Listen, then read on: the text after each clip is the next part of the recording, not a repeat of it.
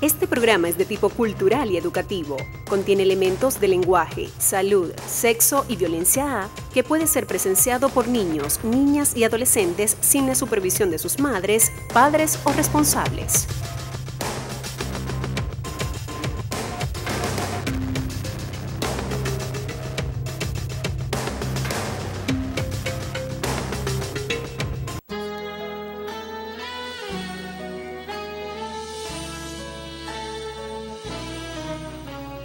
Si tú sientes cerca un barullo y no sabes qué es, es un ángel llegando aunque no lo ves para acercar nuestras oraciones a Dios. Sin más, abre el corazón y comienza a cantar. Que no hay gozo más grande que el amor celestial y los ángeles ya vienen a celebrar. Sí, vuelan los ángeles en el lugar, en medio de todos y son. Bienvenidos a tu programa Queremos ver a Jesús, el programa de televisión de la diócesis de Punto Fijo. Hoy aquí pues en este programa nos acompaña parte de la comisión de la pastoral de catequesis de la diócesis de Punto Fijo, ya que está el próximo 20 a celebrarse la semana de la catequesis. Por eso en el día de hoy ellos nos van a acompañar a lo largo de todo el programa y vamos a comenzar pues como de costumbre la lectura orante en nuestro programa Queremos ver a Jesús. Por eso te invito a que tomes la Biblia y a que busques en el libro de Efesios en la carta de Efesios en el capítulo 3, versículo 8 y 9. Capítulo 3, versículo 8 y 9 de la carta de San Pablo a los Efesios. Vamos a hacer una pequeña oración al Espíritu Santo, vamos a invocarlos para que Él pues nos ilumine y de esa manera nos ayude a conocer la palabra que el Señor nos está dando en el día de hoy. Ven Espíritu Santo, llena los corazones de tus fieles y enciende en ellos el fuego de tu amor. Envía tu Espíritu para darnos nueva vida y se renovará la faz de la tierra. Oh Dios, que iluminaste los corazones de tus fieles con las luces del Espíritu Santo, concédenos saborear las cosas rectas según tu Espíritu y gozar para siempre de tus consolaciones. Por Jesucristo nuestro Señor. Amén. Nelly que nos acompaña hoy en, en el día de hoy, pues ella va a leernos entonces Efesios capítulo 3, versículos 8 y 9. A mí, el menor de todos los creyentes, se me concedió esta gracia de anunciar a los pueblos paganos la incalculable riqueza de Cristo y de esclarecer para todos en qué forma se va realizando el proyecto secreto escondido desde el principio en Dios, creador de todas las cosas. Palabra de Dios. Te alabamos, Señor. Entonces, bueno, ya que hemos hecho la lectura en el día de hoy, vamos entonces, ¿qué nos dice el texto, verdad? Aquí es Pablo, uno del el que ha escrito la carta a los Efesios, y nos dice pues que él es el más insignifica, sin- insignificante, ¿sí, Nelly? insignificante Sí, señor. de todos los creyentes, ¿verdad? Y a él se le ha dado ese poder para anunciar la palabra de Dios. ¿Sí? Así es. Así es. Y te dice exactamente que, que dice que a mí, el menor de todos los creyentes, dice, se me concedió esta gracia de anunciar a los pueblos paganos la incalculable riqueza de Cristo. Esto es algo tan grandioso que, que, que lo hemos tomado eh, como mensaje para esta semana de la catequesis, porque nosotros los catequistas, ¿qué hacemos? Anunciar la palabra de Dios, llevar ese mensaje.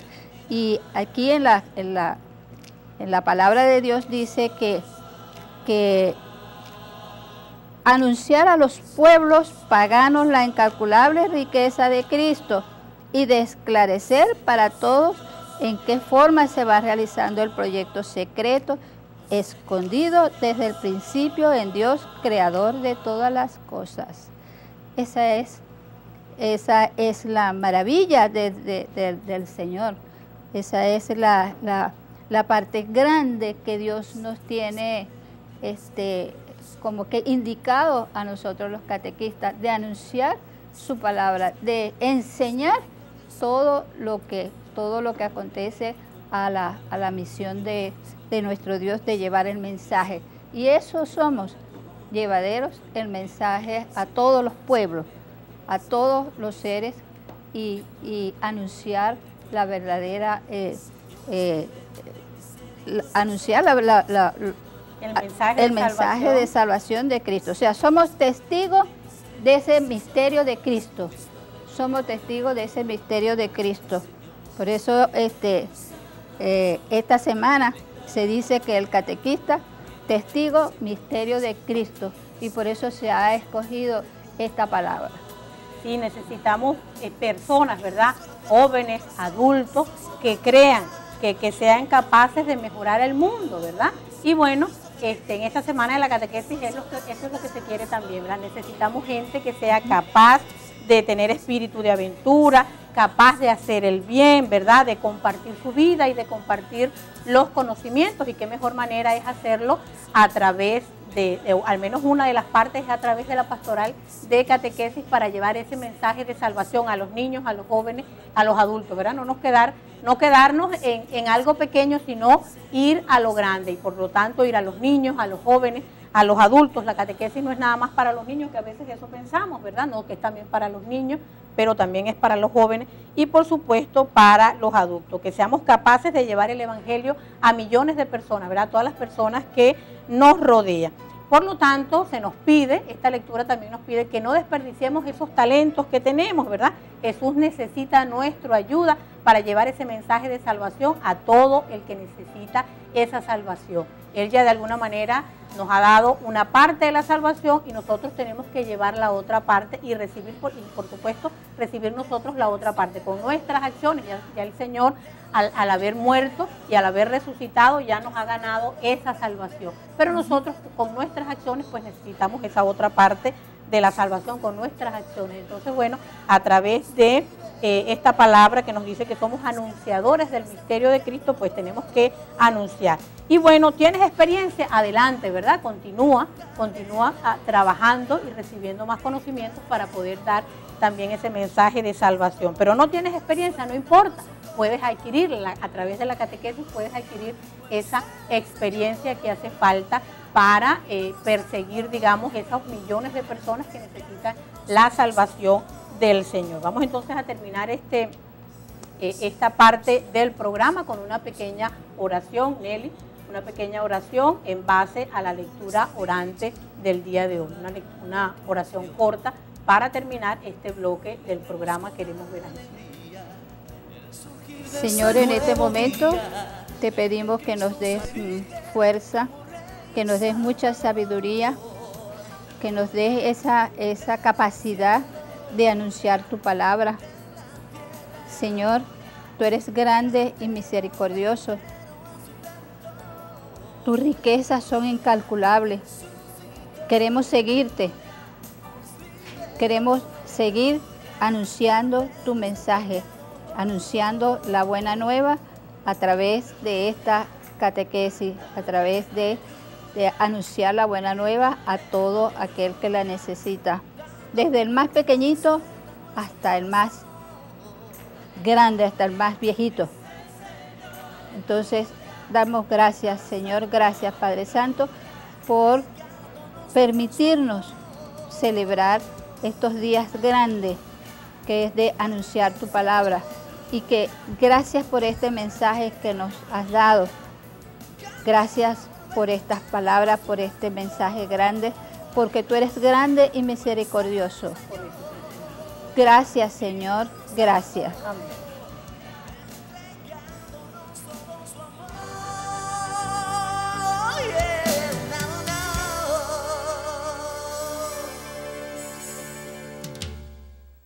Yo sé que está lleno de ángeles, sí,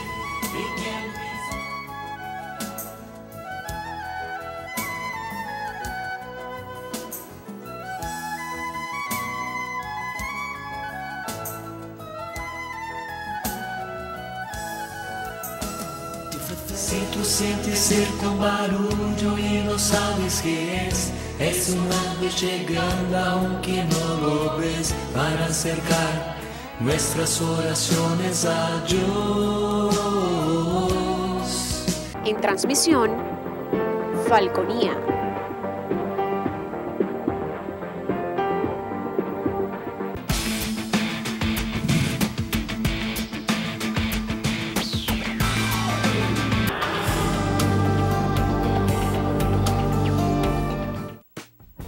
¿Por qué el mundo de las carnes?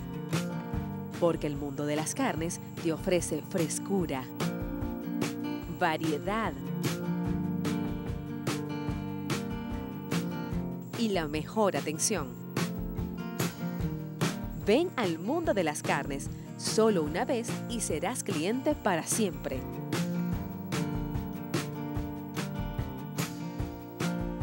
El mundo de las carnes, calle San Román, Puerta Maravén.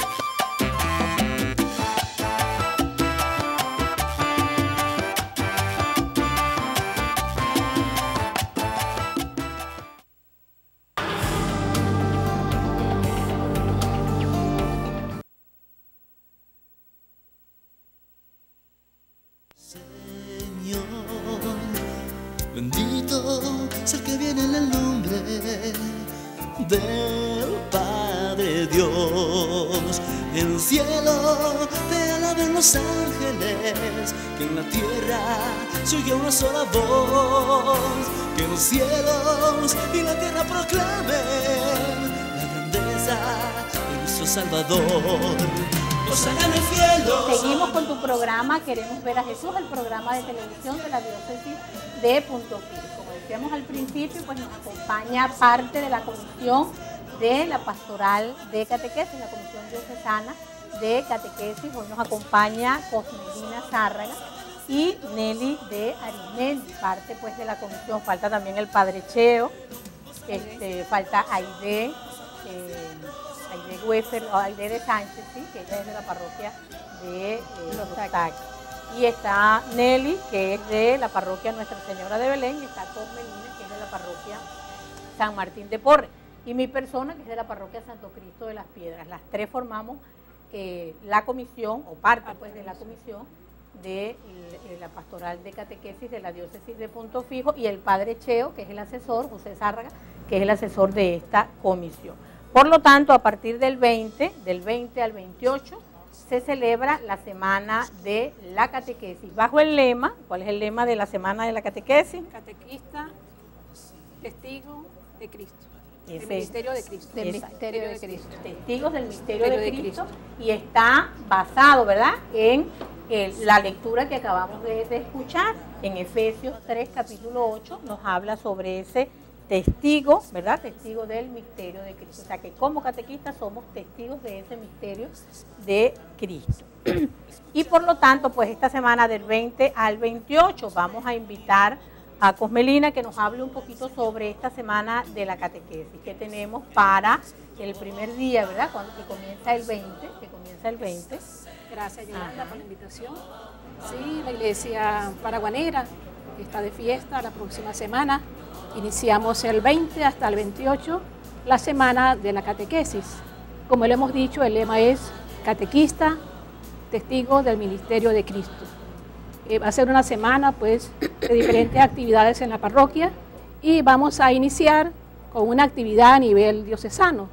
Eh, la celebración eucarística el sábado 20 de octubre a las 9 de la mañana en la Catedral Nuestra Señora de Coromoto, pues ahí tendremos la celebración eucarística con la entrega de reconocimientos a los catequistas del año de cada parroquia y el envío de los catequistas. Una actividad muy importante porque nos reúne como hermanos, como catequistas de toda la iglesia diocesana de Punto Fijo.